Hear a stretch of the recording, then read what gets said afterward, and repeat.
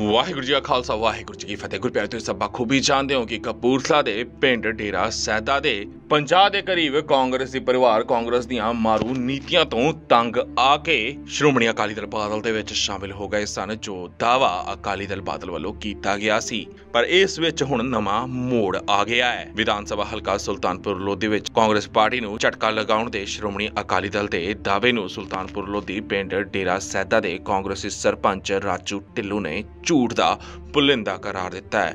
ਸਰਪੰਚ ਰਾਜੂ ਢਿੱਲੋਂ ਨੇ ਕਿਹਾ ਕਿ ਪਿਛਲੇ ਦਿਨੀ ਸ਼ੀਅਦ ਵਿੱਚ ਧੋਖੇਬਾਜ਼ੀ ਨਾਲ ਕੇਵਲ ਦੋ ਕਾਂਗਰਸੀ ਪਰਿਵਾਰ ਅਕਾਲੀ ਦਲ ਵਿੱਚ ਸ਼ਾਮਿਲ ਕੀਤੇ ਗਏ ਸਨ, ਪਰ ਸੱਚ ਪਤਾ ਲੱਗਣ ਤੇ ਉਹ ਅੱਜ ਫਿਰ ਕਾਂਗਰਸ ਪਾਰਟੀ ਵਿੱਚ ਸ਼ਾਮਿਲ ਹੋ ਗਏ ਹਨ। ਸਰਪੰਚ ਰਾਜੂ ਢਿੱਲੋਂ ਨੇ ਦਾਅਵਾ ਕੀਤਾ ਕਿ ਅਕਾਲੀ ਦਲ ਪਹਿਲਾਂ ਤੋਂ ਹੀ ਉਹਨਾਂ ਦੀ ਪਾਰਟੀ ਨਾਲ ਸੰਬੰਧਿਤ ਪਰਿਵਾਰਾਂ ਨੂੰ ਅਕਾਲੀ ਦਲ ਵਿੱਚ ਸ਼ਾਮਿਲ ਕਰਨ ਦੀ ਨਾਪਾਕ ਕੋਸ਼ਿਸ਼ ਕਰ ਰਿਹਾ ਹੈ ਅਤੇ ਝੂਠੇ ਦਾਅਵੇ ਕਰ ਰਿਹਾ ਹੈ। ਉਹਨਾਂ ਨੇ ਬੀਤੇ ਦਿਨੀ ਪਿੰਡ ਡੇਰਾ ਸੈਦਾ ਵਿੱਚ ਅਕਾਲੀ ਦਲ ਵਿੱਚ ਜੋ 50 ਕਾਂਗਰਸੀ ਪਰਿਵਾਰ ਸ਼ਾਮਲ ਹੋਏ ਉਸ ਨੂੰ ਵੀ ਝੂਠ ਦਾ ਪੁਲੰਦਾ ਹੀ ਦੱਸਿਆ। ਕੀ ਕਰਨ? ਅਸੀਂ ਸ਼ੁਰੂ ਤੋਂ ਹੀ ਕਾਂਗਰਸ ਵਾਲੀਆਂ ਜੀ। ਸਾਡੇ ਸਾਡੇ ਖਾਨਦਾਨ ਸਾਰਾ ਖਾਂ ਇਧਰ ਹੀ ਅਸੀਂ ਕਾਂਗਰਸ ਵਾਲੇ। ਅਸੀਂ ਕਾਲੀਆਂ ਵੱਲ ਨਹੀਂ ਕਦੀ ਗਏ ਪਰ ਇਹ ਗੱਲ ਜਿਹੜੇ ਕੱਲ ਕਾਲੀ ਦਲ ਨਾਲ ਸੋਫੇ ਪਾਏ ਆ ਉਹਦਾ ਕੀ ਕਾਰਨ ਜੀ ਉਹ ਬੁਲਾ ਲਿਆ ਉਹਨਾਂ ਨੇ ਪਾਤਾ ਜੀ ਪਿੰਡ ਦੇ ਆਉਣੀ ਜਾਣੀ ਹੈਗੀ ਤਾਂ ਕਰਕੇ। ਫਿਰ। ਤੁਹਾਨੂੰ ਪ੍ਰੋਗਰਾਮ ਬਾਰੇ ਕੋਈ ਦੱਸਿਆ ਗਿਆ ਪਹਿਲਾਂ ਕਿ ਅੱਜ ਸ਼ਾਮਲ ਤੁਹਾਨੂੰ ਕੀਤਾ ਜਾਊਗਾ? ਨਹੀਂ ਕੋਈ ਨਹੀਂ। ਮੇਰਾ ਨਾਮ ਰਾਜ ਆ ਤੇ ਮੈਂ ਇੱਥੇ ਡੇਰਾ ਦੀ ਰਹਿਣ ਵਾਲੀ ਆ ਤੇ ਸਾਨੂੰ ਇੰਨਾ ਨਹੀਂ ਸੀ ਪਤਾ ਵੀ ਉਹਨਾਂ ਨੇ ਕੱਲ ਮੀਟਿੰਗ ਹੋਈ ਸੀ ਸਾਡੇ ਪਿੰਡ। ਤੇ ਇੰਨਾ ਨਹੀਂ ਸੀ ਪਤਾ ਵੀ ਕਾਲੀਆਂ ਦੀ ਮੀਟਿੰਗ ਕਿਸ ਲਈ ਹੋਈ ਆ ਤੇ ਸਾਨੂੰ ਉਹਨਾਂ ਨੇ ਬੁਲਾਇਆ ਸਾਨੂੰ ਇੰਨਾ ਕੁਝ ਪਤਾ ਨਹੀਂ ਸੀਗਾ ਤਾਂ ਪਰ ਅਸੀਂ ਚਲੇ ਗਏ ਚਲੋ ਸਾਡੀ ਆਉਣੀ ਜਾਣੀ ਉਹਨਾਂ ਦੇ ਘਰ ਹੈਗੀ ਸੀ ਤਾਂ ਅਸੀਂ ਚਲੇ ਗਏ। ਬਾਕੀ ਇਹ ਆ ਕਿ ਅਸੀਂ ਭਾਜੀ ਹੁਣਾਂ ਦੇ ਨਾਲ ਹੀ ਆ ਕੋਈ ਨਹੀਂ ਜਿੱਦਾਂ ਇਹ ਕਹਿਣਗੇ ਅਸੀਂ ਉਦਾਂ ਹੀ ਉਹਨਾਂ ਦੇ ਨਾਲ ਆ। ਤੁਸੀਂ ਕਾਂਗਰਸ ਨੀਤੀ ਨਾਲ ਖੁਸ਼ ਹੋ? ਹਾਂਜੀ ਅਸੀਂ ਖੁਸ਼ ਆ। ਤੇ ਸਰਪੰਚ ਵੱਲੋਂ ਕੋਈ ਧੱਕੇਸ਼ਾਹੀ ਜਾਣਾ ਵਗੈਰਾ ਤੁਹਾਡੇ ਨਾਲ ਕਰੀ ਕੀਤੀ? ਨਹੀਂ ਕੋਈ ਧੱਕੇਸ਼ਾਹੀ ਨਹੀਂ ਕੀਤੀ ਗਈ ਕਦੀ। ਹਾਂਜੀ। ਸਰਪੰਚ ਸਾਹਿਬ ਸਰਪੰਚ ਸਾਹਿਬ ਨਾਲ ਵਧੀਆ ਚੱਲਦੇ ਜਦੋਂ ਇਹਨਾਂ ਨੂੰ ਬੁਲਾਈਦਾ ਇਹ ਸਾਡੇ ਕੋਲ ਪਹੁੰਚਦੇ ਆ। ਕੀ ਸੱਚਾਈ ਹੈ? ਭਾਜੀ ਇਹ ਬਿਲਕੁਲ ਸਰਾਸਰ ਝੂਠ ਆ। ਇਹ ਜਿਹੜੇ ਪਰਿਵਾਰ ਆ ਇਹ 10 ਤੋਂ 12 ਪਰਿਵਾਰ ਆ।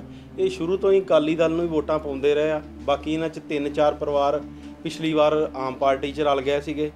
ਆ ਜਿਹੜਾ ਇਹ ਕਹਿ ਰਿਹਾ ਕਿ ਕਾਲੀ ਪਰਿਵਾਰ ਅ, ਕਾਂਗਰਸੀ ਪਰਿਵਾਰ ਕਾਲੀਆਂ 'ਚ ਸ਼ਾਮਲ ਹੋ ਗਏ ਇਹ ਸਰਾਸਰ ਝੂਠ ਹੈ। ਕਾਲੀਆਂ ਨੂੰ ਹੀ ਕਾਲੀਆਂ ਦੇ ਵਿੱਚ ਸ਼ਾਮਲ ਕਰੀ ਜਾਂਦੇ ਪਏ ਆ। ਬਾਕੀ ਦੋ ਸਾਡੇ ਵਿੱਚ ਪਰਿਵਾਰ ਜ਼ਰੂਰ ਐਸੀ ਭਾਈਚਾਰੇ ਦੇ ਸੀ, ਜਿਹੜੇ ਅਸੀਂ ਅੱਜ ਆਪਣੇ 'ਚ ਸ਼ਾਮਲ ਕਰ ਗਏ। ਉਹਨਾਂ ਨੂੰ ਵੀ ਝੂਠ ਮਾਰ ਕੇ ਉੱਥੇ ਬੁਲਾਇਆ ਗਿਆ ਕਿ ਸਾਡੀ ਕੋਈ ਮੀਟਿੰਗ ਆ। ਆ ਤੁਸੀਂ ਦੇਖ ਹੀ ਲੈਣਾ ਕੱਲ ਦੇ ਪੇਪਰ ਦੇ ਵਿੱਚ ਨਿਊਜ਼ ਆ ਜਾਊਗੀ, ਬਾਕੀ ਤੁਸੀਂ ਬਾਈਟ ਲੈ ਹੀ ਲਈ ਆ ਉਹਨਾਂ ਦੀ। ਬਿਲਕੁਲ ਸਰਾਸਰ ਝੂਠ ਆ। ਕੋਈ ਇਹ ਇੱਥੇ 50 ਪਰਿਵਾਰ ਨਹੀਂ ਸ਼ਾਮਲ ਹੋਏ। ਪਰਿਵਾਰ ਆਹ ਵਾ ਜਿਹੜੇ ਤੁਸੀਂ ਅੱਜ ਦੇਖ ਲਏ ਆ। ਇਹ 10 ਤੋਂ 12 ਪਰਿਵਾਰ ਆ, ਜਿਨ੍ਹਾਂ ਦੀਆਂ ਕਿ ਕੀਤੀ ਕੋਈ 42 ਵੋਟਾਂ ਹੋਣਗੀਆਂ, ਸਾਨੂੰ ਇਹਦੇ ਨਾਲ ਕੋਈ ਫ਼ਰਕ ਨਹੀਂ ਪੈਂਦਾ। ਇੱਕ ਭਾਈ ਉਹ ਕਹਿ ਰਹੇ ਕਿ ਸਰਪੰਚ ਅਤੇ ਵਿਧਾਇਕ ਦੀਆਂ ਲੋਕਮਾਨ ਨੀਤੀਆਂ ਤੋਂ ਲੋਕ ਦੁਖੀ ਹੋ ਕੇ ਕਾਲੀ ਦਲ ਜੁਆਇਨ ਕਰ ਰਹੇ ਆ। ਬਿਲਕੁਲ ਭਾਜੀ, ਇਹ ਝੂਠ ਮਾਰਦੇ ਪਏ ਆ। ਤੁਸੀਂ ਦੇਖਿਆ ਹੀ ਆ ਕਿ ਕਾਂਗਰਸ ਸਰਕਾਰ ਦੀਆਂ ਵਧੀਆ ਕਾਰਗੁਜ਼ਾਰੀ ਕਰਕੇ ਲੋਕ ਖੁਸ਼ ਆ। ਇਹਨਾਂ ਨੂੰ ਆਪਣਾ ਟਾਈਮ ਭੁੱਲ ਗਿਆ। ਇਹਨਾਂ ਨੇ ਆਪਣੇ ਟਾਈਮ 'ਚ ਕੀ ਕੀਤਾ?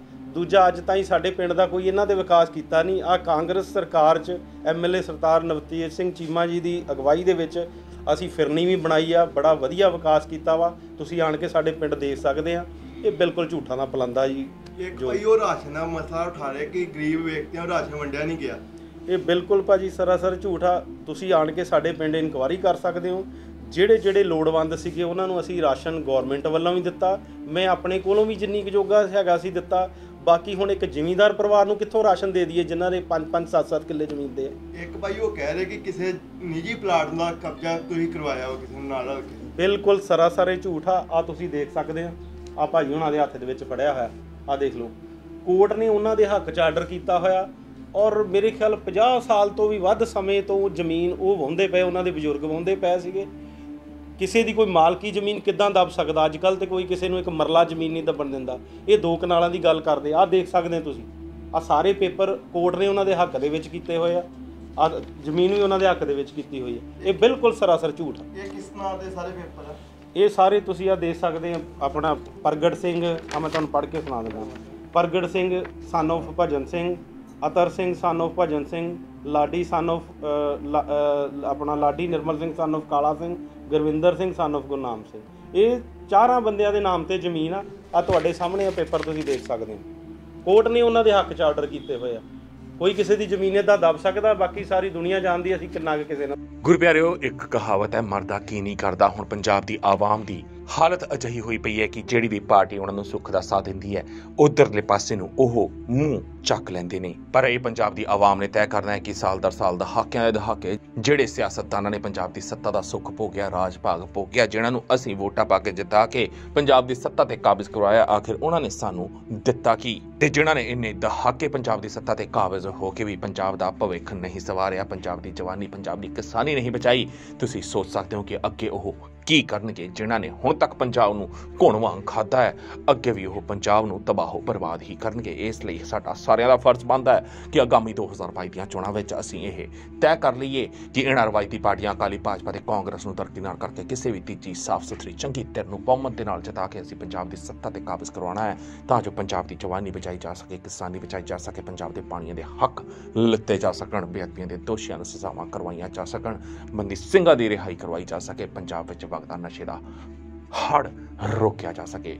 ਤੁਸੀਂ ਸਭ ਇਸ ਮਸਲੇ ਤੇ ਕੀ ਸੋਚਦੇ ਹੋ? ਆਪਣੇ ਵਿਚਾਰ ਨੀਚੇ ਕਮੈਂਟਸ ਦੇ ਵਿੱਚ ਜ਼ਰੂਰ ਦੇਣਾ। ਵੀਡੀਓ ਚੰਗੀ ਲੱਗੀ ਹੋਵੇ ਲਾਈਕ ਤੇ ਸ਼ੇਅਰ ਵੀ ਜ਼ਰੂਰ ਕਰਨਾ। ਗੁਰਬਾਣੀ ਅਖੰਡ ਵਾਸਤੇ ਕਪੂਰਥਲਾ, ਸੁਲਤਾਨਪੁਰ, ਲੋਧੀ ਤੋਂ ਬਲਜਿੰਦਰ ਸਿੰਘ ਦੀ ਰਿਪੋਰਟ ਵਾਹਿਗੁਰੂ ਜੀ ਕਾ ਖਾਲਸਾ, ਵਾਹਿਗੁਰੂ ਜੀ ਕੀ ਫਤਿਹ। ਸਿੱਖ ਧਰਮ ਦੀ ਹਰ ਗਤੀਵਿਧੀ ਅਤੇ ਗੁਰਬਾਣੀ ਵਾਸਤੇ ਹੁਣੇ ਸਬਸਕ੍ਰਾਈਬ ਕਰੋ ਗੁਰਬਾਣੀ ਅਖੰਡ ਬਾਣੀ ਅਤੇ ਨੋਟੀਫਿਕੇਸ਼ਨਸ ਵਾਸਤੇ ਬੈਲ ਨੂੰ ਰਿੰਗ ਕਰੋ।